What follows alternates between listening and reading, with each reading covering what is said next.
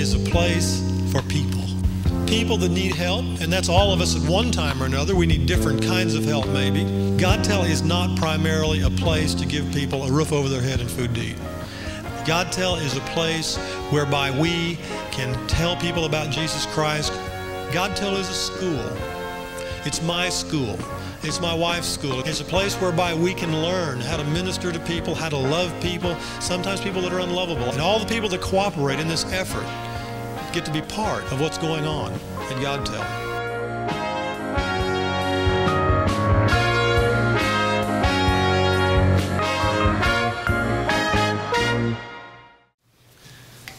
Oh, yeah. Well, it's Wednesday night. You know what that means. As soon as we leave here, we're heading for Livingston. Stay there for three days, and then uh, Sunday we go back to Nacogdoches and start all over again. In case any of you are wondering where Joseph is, we kidnapped him. Took him to Nacogdoches. He's working up there for us now, right now. He's doing it. He's doing all right. He's been there a week, and he hasn't killed anybody yet and nobody has killed him. We are in 1 Peter chapter 3. This is about relationships. Some of you are going to get it, some of you are not going to want to get it. Some of you don't want to hear it. Some of the ladies won't want to hear it for sure. I've already been through that and uh, suffered through it and got the t shirt anyway. Starting in chapter 3, verse 1 Likewise, you wives, be in subjection to your own husbands, that if any obey not the word, they also may without a word be won by the conversation of the wives. Now, obviously, he's writing to Christians who should know how to act. While they behold your chaste conversation coupled with fear, whose anointing let it not be that outward adorning of plaiting of the hair, wearing of gold, or putting on of apparel or tattoos and nose rings, whatever you want to call it. But let it be the hidden man of the heart, in that which is not corruptible, even the ornament of a meek and quiet spirit, which is in the sight of God of great price. For after this manner, in the old time, the women, the holy women also who trusted in God, adorned themselves, being in subjection to their own husbands even as Sarah obeyed Abraham, calling him Lord, whose daughters ye are as long as ye do well, and are not afraid with any amazement. Likewise, you husbands, dwell with them according to knowledge, giving honor to the wife as unto the weaker vessel, being heirs together of the grace of life, that your prayers be not hindered. Now, when we read this, I find even in the churches I've preached in all across half of the United States, I found out that most of them never read this. They don't know it's here.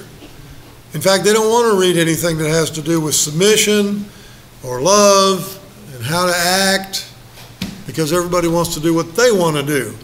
But let me tell you a secret, and you may have already found out some of this and not known it. But here you are at Godtel, and probably every one of you in here has been in some kind of relationship that somehow got screwed up. And uh, the reason it got screwed up is because you and whoever you were having relationships with was not doing it God's way. You were doing what you wanted to do, and obviously now here you are. Well, you say, well, here we are, God, tell, What does this mean to us? Well, it means this. You may leave here one day and enter into another relationship. And I hope that when we go through these scriptures, you'll have enough knowledge so maybe the next time around you'll get it right. Wouldn't that be nice? If you're not willing to do that, do yourself a favor and the whole world a favor. Don't get in any more relationships. You'd be better off, and the persons that you're going to ruin would be better off if you just stayed to yourself. Unless you want to do what God says. Now remember, I didn't write the Bible, but I did find out that especially when I met Nancy back 44 years ago, she was a women's liber. She thought the Apostle Paul was a male chauvinist pig, she told me. And she was not going to do what God said. But she was honest enough to seek God, and then God showed her what to do, and me also, and so we ended up staying together for 44 years so far. Now, if you want to, has it been 44? 44 long, 44 years. That's right. We're getting we're getting old. Now we both were married before. Nancy was married nine years, didn't do it God's way. That got all screwed up. I was only married for a year and a half, and my first wife ran off with my best friend, whom his name is Robert. If I ever see him, I'm going to thank him. I'm going to shake his hand and say, Bless you, my brother. Thank you. One of the best things that ever happened to me outside of becoming a Christian was not having that woman anymore. I was teenage love, you know. That doesn't always work out. So let's go back to verse 1 and look at this. Likewise, remember the previous chapter was talking about submission. Likewise, you wives, obviously he's talking to married women, be in subjection to your own husbands. Now, folks, this is one reason why God was never in, had never intended for women to work outside the home. He intended for the women to raise the children, and if a woman wants a career, uh, a career that's, that's fine, but she really doesn't need a husband for that. But I'm going to tell you a story that's true. It happened to me. My dad, mom, there was three children in the family at that time. We were reasonably a happy family. We were just buying a new house. Of course, back in those days, a house that the same house that today would sell for half a million dollars sold for 13,000 in the 1950s. Same house. It's still there. It's been sold several times. And um, my dad had a, uh, we had a nice car, fairly new car. I think it was a year old. He had a decent job in a machine shop. He was a blue collar worker, but he made a respectable salary and was able to support everybody. But they got together somehow and decided that they needed more money. Well, the solution was for my mother to go to work which meant us kids were home alone a lot. And my mother went and got a job as a key punch operator at the Bank of America. About a year later, she ran off with the vice president of the bank. Left us, my dad, destroyed our family, screwed everything up, and it's all because they were not doing it God's way. They were doing it, man. They're following what people said. Oh, if both of you work, you'll have more money. You can do this, you can do this, you can do this. Yeah, they did, and it split the marriage up. I only saw my mother maybe four times from the time I was nine years old till I was 24. She did not want to acknowledge that I was her son. In fact, when I came, went to visit her, she made sure she let me know not to let anybody know that I was her son because she didn't want these people up there in Lake Tahoe where she was living, where she was now the president of the Bank of America branch there. She didn't want anybody to know that she'd had a previous family and all this stuff because she was a member of PTA and all this other stuff. And then here I show up. She's got two other kids by this man, Bill. But you know, my mother paid. She became the breadwinner in the family because Bill had a gambling problem and he couldn't keep a job. There's one thing after another, you know. Drank. But she stayed with him. You know, he loved her, he worshiped her. And uh, she loved him, and so they stayed together. Or at least they stayed together, anyway. My mother died at age 42 of cancer. She weighed 50 pounds. Her husband, Bill, could not bear to be without her within a year after he gambled away everything they owned, including their house. He died. Two weeks after his, he died, Jimmy, one of my brothers, he died. The only one that was left was Kenny, and Kenny was, had become a Christian, and Kenny's still alive. He's doing fine. In fact, he operates the uh, trolley system that's up there at Lake Tahoe. He inherited that, I think, from his wife's dad. But he's doing fine we don't have much of a relationship. I don't see him. You know, we send him Christmas cards. That's about it. But I'm pleased that he's doing okay. And the time I did visit with him, found out he was a Christian and everything was going smoothly. My mother died professing to be an atheist. So guess where she is tonight? I got a brother, Eli. That's my mother and I. Uh, my mother's son also. There was three of us originally, then there was five more, and then there was two more, and there's, anyway, there's like, I don't know how many of us kids there was, but I was the oldest and best looking, I do know that. And my brother Eli's just been diagnosed with stage four cancer. He's younger than me, I I was the oldest, and he's dying. And he doesn't want to have anything to do with Jesus. And if he dies, he's going to probably be sitting in the seat next to my mother in hell. That's sad. He thinks we don't live in reality, that we're brainwashed. He's got it all figured out. And he's going to die based on, uh, facing the future based on his opinions. I don't know why anybody would be so stupid as to enter into eternity based on what they think rather than trying to look for some information. Even if you were joined a false religion, at least you'd have some kind of hope. He has none. Tore the whole family up because of that. I grew up on the streets. Uh, my dad's life was ruined. I mean, totally ruined. He's still alive. He's 91. He remarried about 40 years ago or a little more. And he's been married to that same woman all these years. And um, I think he's scared of her. No.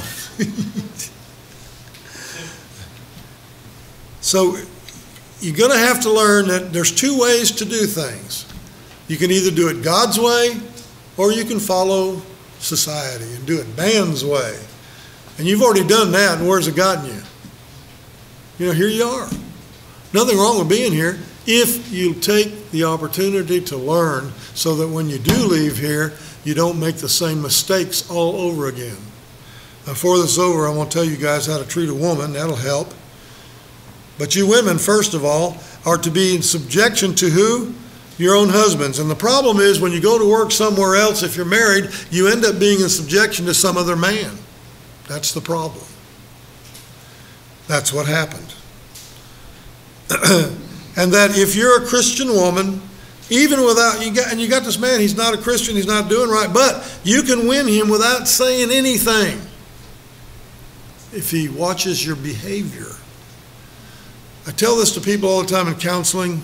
Most of them don't listen to me. Children do not learn what they're told. Children learn what they see you do. That's what they learn. All the good words in the world, if you're not living them yourself and you're a hypocrite, all those good words will not teach them anything. They're going to want to do what they see you do. While, verse 2, they behold your chaste conversation, that's your behavior, coupled with fear. Fear of what? Fear of the Lord. Fear of the Lord is the beginning of wisdom. Fear of the Lord is the beginning of knowledge, understanding. And then he tells the women how they ought to be acting. Because actions speak louder than words. Don't have a beautiful showroom and nothing in the warehouse. A lot of women that I've run into in my lifetime who look really good on the outside and then when they open their mouth and the garbage from their heart comes out, you find out they're a witch. If you guys haven't run into those ladies yet, you have not lived. Of course, it's none of these here, you know. It might be the ones that were here last week, but. And some people, that's all they've got is what's on the outside. Now, folks, I don't mean to be ugly, but I want to be honest with you because I want you to learn some things. I get really irritated when I'm walking through the mall or someplace, and here comes a woman. She weighs 300 pounds. You know, overweight seems to be the thing today, and I have a problem with that myself. I keep trying not to eat so much. Um, I have lost some weight, finally. But I'll see this one, and she's wearing short shorts. This is a bad picture already, isn't it? and she's got cellulite hanging out all over the back of her legs, but she has a tattoo. And I guess she wants everybody to see it. Maybe she thinks she looks pretty with it. I've never seen a woman that looked pretty with a tattoo. Ladies, if you have them, you can't get rid of them, but don't expect me to go, ah. When I grew up, there was not one woman in Los Angeles that I knew that had a tattoo. Not one. Nobody had these funny little rings in their ears making a big hole and nose rings. You know, people think, and I think a lot of people don't like themselves, so they do all this stuff to try to improve what God made. You need to learn that what God made is fine. I mean, you can be the best you you can be. I have met people who are white that wanted to be black. I've met people that were black that wanted to be white. I've met Mexicans, we're just happy to be Mexicans. You know, I, I, I get, I get really frustrated when I go into a church to preach, and the young people especially come into the church, and they're all wearing flip flops and shorts in church. No respect, no concept of trying to do right, look right, and they talk just like they look. Foul stuff comes out of their mouth, and they don't think anything of it. Too much television, I guess. We want to imitate the world. Well, that's what the children of Israel did. They wanted to imitate the nations around them and have a king and everything. And every time they did that, God had to destroy them. And that's what's going to happen to America. We have an attitude that we're superior to God. We have got it all figured out. We're going to do what we want to do.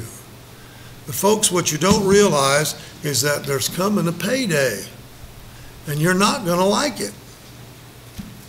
You're going to wish, oh, I should have done something about this. Now, you can't undo what you've already done. I'm not suggesting you even try. But what I am telling you this, since you can't change the past, try to do something about what's coming, the future. Do something better with that. All of us have done stupid things in the past. All of us have sinned, and we've all done things we shouldn't have done, and we can't undo any of them. There's a lot of things. Man, if I could go back, there's a billion things I'd change. Uh, they, I always laugh at these people say, well, if I went back, I wouldn't change anything. I think they're just being liars. There are a lot of things I'd change.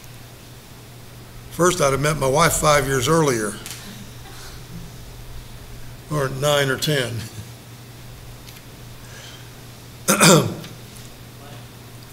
Don't let just the outward appearance define you.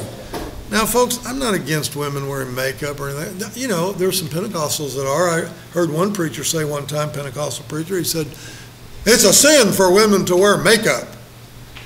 happened to be talking to a Baptist preacher who said, It's a sin for some women not to wear makeup. I said, Amen, brother. That's not what we're talking about. It's this overzealous producing of things in your life to try to make you look like something you're not because you don't like who you are. now, I want to take your Bible and I want to read some verses to you, and I want you to turn to them because you're not going to believe they're even in here. Let's try starting with 1 Corinthians chapter 7. Now, folks, remember, I didn't write this. I didn't say I liked all of it either, I don't. But I'm going to do what it says. This is 1 Corinthians chapter 7. Now concerning the things whereof we wrote unto you wrote unto me, it's good for a man that he not touch a woman. Now he's talking there about a single man. It's better that he don't touch a woman. It's kind of like drinking. Best way not to get drunk is what? Don't drink. So the best way not to be tempted to lust, if you're not married, is leave the women alone. Nevertheless, to avoid fornication, let every man have his own wife, if you're married, obviously, and the wife have her own husband. Let the husband render unto the wife due benevolence. He's talking about sex. This is King James English. They worded things kind of strange. There's nothing wrong with sex inside a marriage. There's a lot of things wrong with it outside of marriage. Let the husband render to the wife due benevolence, and likewise the wife unto the husband. The wife has not power over her own body, but the husband does. And likewise also the husband has not power over his own body, but the wife. Defraud not, don't withhold your affections. Defraud not one another, except it be for this one reason with consent for a time that you may give yourself to fasting and prayer. That's the only reason. And then it says, Come together again, that Satan tempt you not for your inconsistency. Let's turn to chapter 11, 1 Corinthians chapter 11. Starting in, uh, well, we'll start with uh, verse 3. It's hard to get these down. I would have you to know that the head of every man is Christ So far, so good. Here's where the problem comes in. The head of the woman is the man. Did you know that was in the Bible? These people say, oh, men and women are equal. They're not. We are different. You ladies over there have a specific function in life that God granted you, and me as a man, a specific function, and the two of us are different. Y'all do know that, right? Some people don't. That's why two men are trying to get married and two women are trying to get married. They don't know there's a difference. I've known that there's a difference between men and women since I was five years old. When I saw that little blonde girl across the street and I went over and started singing to her. I did. She swooned. She thought I was it. Of course, then her family moved away and I didn't get to see her anymore. Listen to this the head of Christ is God. He is God, but so we can understand. Every man praying or prophesying having his head covered dishonors his head, dishonors Christ. And yet the Jewish people run around with these little yarmulkes on their head, and God says, no, don't do that. The Muslims, they got their little hat they wear when they pray. God says, don't do that. That's why in Western civilization, the Christian people, you'd see them, oh, the old timers especially, we go to pray, we take off our hats. We go to eat a meal and say grace, we take off our hats. We st- I still do that. And I get irritated with people that call themselves Christians that uh, pray with their hat because they're dishonoring God. That's what it says right here. But every woman that prays or prophesies with her head uncovered dishonors her head. That would be me and her. For that is even all as if she were shaven. Now, in the old days, when they caught a prostitute, they shaved her head. That way everybody in town knew she was a prostitute. For the woman, if she's not covered, let her be shorn.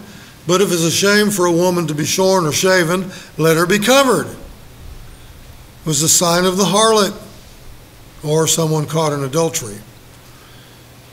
Now listen carefully. For a man indeed ought not to cover his head, for as much as he is the image and glory of God. Did you see that?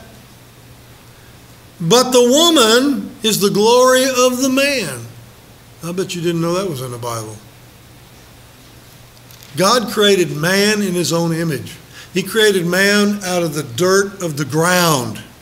And then he said, It's not good for man to be alone, so he made him a helper, and that was Eve. He opened up his side, he took out a rib, and made Eve out of a dirty old man.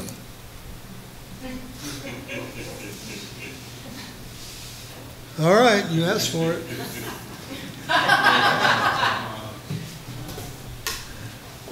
You know, most people, they say, oh no, men and women are equal. We're not the same. We're just not the same. We're not supposed to be the same. I have never met a man who made a good woman. I've never met a woman that made a good man, although there's a couple I've met that were questionable. And I didn't want to meet them in a dark alley. The man is created in the image and glory of God. The woman is the glory of the man. Listen, it gets better. The man is not of the woman, but the woman is of the man. Listen carefully. Neither was the man created for the woman, but the woman for the man. Are y'all following along here? See that I'm telling you the truth? For this cause ought women to have power on her head. That means a covering. Now, there's two kinds of covering, and it goes on to explain this her hair and her husband because we are the spiritual leaders in our household, supposed to be. Most men are not. Some of you didn't. That's why you're in the trouble you're in, because uh, that is a, a, a invisible spiritual umbrella over the wife. For this cause ought women to have power on her head because of the angels. Now, the single women, when they came to church in the early Christian church, they all wore hats because they didn't have a covering, because they didn't have a husband. Nevertheless, neither is the man without the woman, neither the woman without the man in the Lord. For as the woman is of man, even so the man also came by woman. In other words, I had a mommy. She wasn't a very good one, but I had one. All things are God. Judge in yourselves, is it calmly or is it right that a woman should pray with her head uncovered? Does not even nature itself teach you that if a man have long hair, it's a shame unto him? But if a woman have long hair, it is a glory to her, for her hair is given to her as a covering. Now, let's go back. Well, let's go to Ephesians quickly. Ephesians chapter 5 and verse 22. That's the Apostle Paul. 522. Wives, submit yourself to your own husbands as unto the Lord. How are the wives supposed to submit to the husband? Just like as if they were submitting to who? To God. I suppose you didn't see that in the Bible either. For the husband is the head of the wife, even as Christ is the head of the church, and he is the Savior of the body. Therefore, as the church is subject to Christ, so let the wives be to their own husbands in what? Everything. Everything. Oh my goodness. Marriage is not 50 50. This is where a lot of people get a, make a mistake. They say, yeah, it's 50 50. No, no, it's not. It's 100% and 100%. In a marriage, it, there has got to be a lot of dying to self. We don't always get to do what we want to do. And we're going to get to the husbands in just a second. So, girls, don't despair. But it's not 50 50, it's 100% and 100%. Verse 25 Husbands, men, love your wives even as Christ also loved the church and gave himself for it. When Jesus gave himself to pay the penalty for our sin, did he give 50%? No, he gave 100%, didn't he? He died and paid the penalty for your sin. He gave all that he had, and that's what we're supposed to do for the wife. Now, guys, let me tell you a secret. You cannot make a woman submit to you. And you can beat her up, but she might kill you later when you're asleep. You cannot make her submit, but you can love her like Christ loved the church, and she will want to submit. I don't have to try to make my wife do anything. All I got to do is treat her right. If I treat her right, she's putty in my hands. She didn't have any trouble submitting to me, to my authority. And see, in a, in a Christian family, the husband is where the buck stops. If we make decisions in our family and she gives me information, maybe it's good, maybe it's bad, I use it, I don't use it. Ultimately, if there's a problem with it, whatever we're going to do, God comes to me. He doesn't ever talk to her. I'm the one where the buck stops. So I try real hard to listen to what she has to say because it might be good. And sometimes it is. Once, twice, no.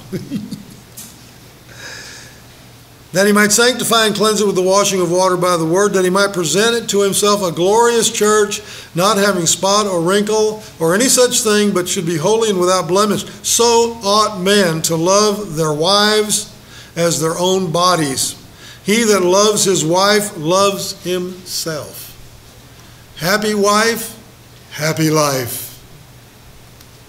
No man ever yet hated his own flesh, but nourishes and cherishes it and of course, Jesus is talking about the church. Go back to uh, 1 Peter now, where we were when we started, and we'll finish it up. If you want to have a relationship, and this is what happened to us, our, two, our first two relationships, we screwed up.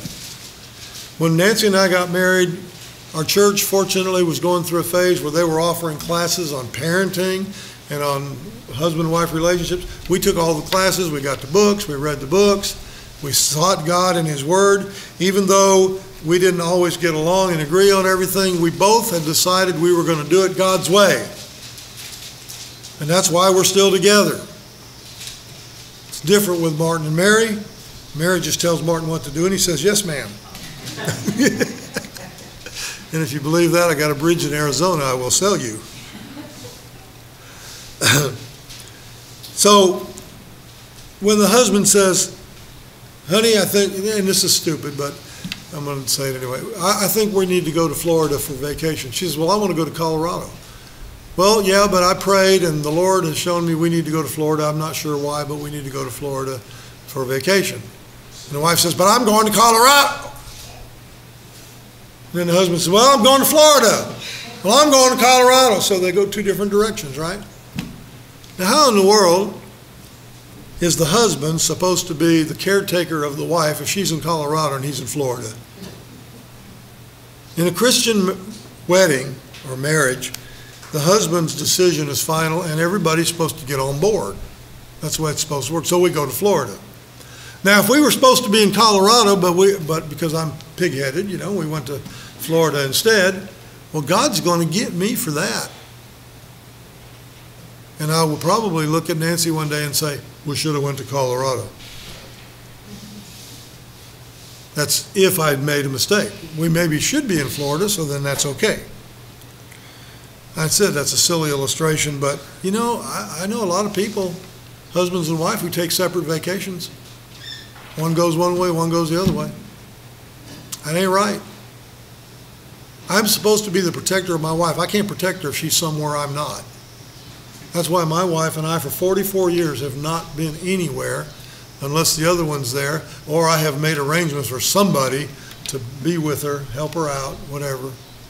And that's only been maybe once when Martin drug me off to West Texas to pick up one of his cars. We weren't gone very long, were we, Martin? We just went and got it and came back, didn't we? Yeah. I wasn't gone very long. But other than that, we've never been apart. She works, but she works for me which has definite advantages. She's my secretary, and I can chase her around the office and nobody can say anything. It's pretty cool. The women, my wife did this. It says here the women of old, the holy women trusted God. Even as Sarah, like she called Abraham Lord. One time my wife was at church and she called me Lord. And the ladies around her got upset. Well, I, and another time, because she was trying to make a point, I didn't want her to do this, but she did. She bent over and kissed my shoe. And the women got upset. We're not going to do that. And you know, some of those women aren't married anymore. My wife wasn't in any way, because I love my wife, I'm not going to make her kiss my shoe. But the point is, she was making a point to those ladies about submission. And they didn't get it. And that's sad. and of course, Sarah feared the Lord. That's what they're talking about here. Likewise, you husbands. Likewise means by the same token. Dwell with them according to what? Knowledge, understanding, right. Giving honor to the wife as the weak, the wife is the weaker vessel. Now I think some of you women probably think you're as tough as a man, but you know those. That's because you've been watching too many movies, and you got this little 90-pound karate girl whipping five guys that weigh 250 pounds apiece. That's a bunch of hogwash. It doesn't work that way. Some of those girls can beat on a man all day long, and he'll just laugh at her. It's just silly. But we put that image because, you know, in the media, we're trying to make it look like men and women are equal. That's what the media is doing. A woman cannot carry the same weights that a man, even the women that do weightlifting, they can't carry the same weight or lift the same weight as a man of comparable size. Our muscles are different. Did you know that? Men's muscles get bigger.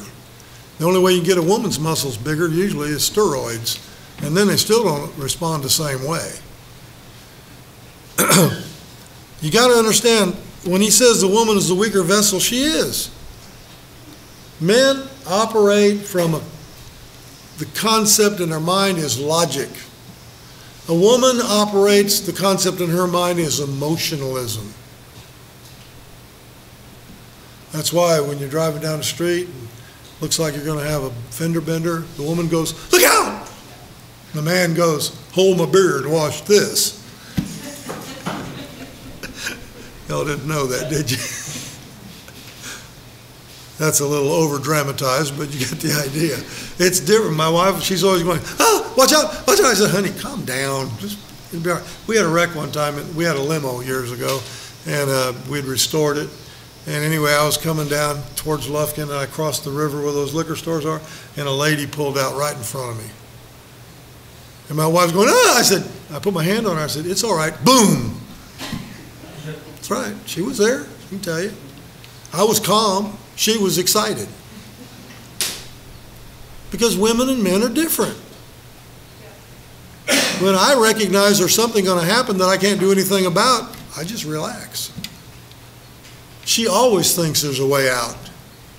Ah, she'll grip the dashboard so hard her she melts her wedding ring. I mean, it's just amazing, you know. Fingers turn all blue and pink and purple.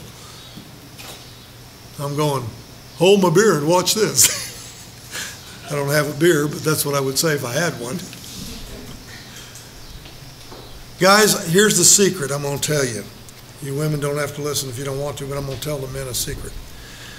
If you enter into a relationship with a woman and you want her to stay with you, treat her like a queen. A man came in our mission. He was black. His girlfriend was white. I grew up in Los Angeles. That didn't bother me. What bothered me was the way he treated her. He walked in and he said, Hey, Brother June, this is my woman. I said, What? He said, This is my woman. I said, You want this woman to stay with you? He said, Yeah. I said, Then why don't you treat her like a woman instead of baggage? You know that man never did tell me that woman's name? It's hard to respect somebody like that. And I'm sure she didn't stay very long. Women get tired of that real fast, being treated like secondhand rose wearing secondhand clothes. My woman. You know, I, I, appreciate it. I'm in the store, I meet somebody, they got their wife with them, and say, uh, Brother June, I'd like you to meet my wife, Betty. You know, we shake hands. Hi, how do you do? It's good to meet you. Pleasantries. But you know, a lot of people don't do that anymore. I've met people, you can stand there for three hours and they'll never introduce their partner to me. Wife, girlfriend, whatever, fiance. Of course, everybody's got a fiance these days. God tells no place to find one. I'm telling you the truth. Everybody here's got problems. Why do you think we're all here? I had a guy and a girl. I think the girl checked in first in Nacogdoches. And I think the next day the guy sh- showed up and he checked in. They had never met before. On the third day, they introduced themselves to me as their fiance. Two weeks later, they divorced, yeah, split up. And the next day after that, this woman introduced me to her new fiance. You know, I like to go have their brains checked. But I'm afraid if we did an x ray, we wouldn't find anything. It's ridiculous. And I've seen so many people hook up at GodTel. I got another one, Jerry, and uh, some woman he hooked up with a GodTel. And, and I don't know how long that's going to last, but you know, I've watched them come and go and come and go, 40 years of it. And it's just totally ridiculous. This is not the place to be hooking up. If you want to meet somebody that's worth having, start going to church and start acting like you're supposed to. And you just might find a Christian guy or a Christian woman that really has got themselves on the ball with the Lord, and you might could have a good relationship. If my wife was ever to die, you think I'd hang around here? Uh-uh. I go to church. In fact, I told my wife, we were uh, reading the newspaper one day in Livingston, and they had a picture on the front of this senior citizen class from First Baptist Church. They were going on an outing. I'm a senior. There was two men and 20 women in the picture because all the other husbands had died off. And I looked at my wife and I said, honey, if you ever die, I'm going to enroll in that Sunday school class. well, yeah. I ain't going to go looking for a woman in a bar. What kind of woman you going to get in a bar? What kind of man you going to get in a bar? A drunk? But boy, I've watched people do that for years. They show no sense at all. And then when the thing goes bust, they're whining. And of course, it's always the other person's fault. You ever notice that? The men blame the women, the women blame the men. And I try to stay out of the middle of it because I can't win. Folks, it's very important. There's a, this is just a, a very small amount of scripture about relationships with husbands and wives. You need to study the Bible. You'll be miles ahead if you know how to act and make the right choices. Also, there's a lot of information here about about employers and employees and how to act.